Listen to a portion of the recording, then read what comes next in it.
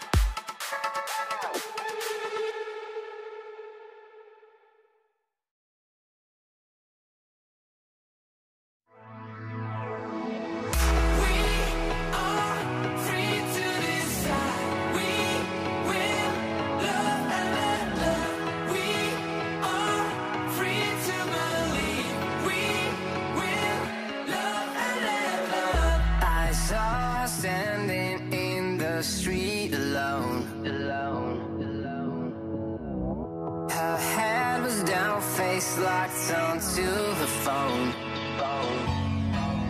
And I wished I'd had a number so I could be color unknown. And then I tell her look into my eyes and never let it go.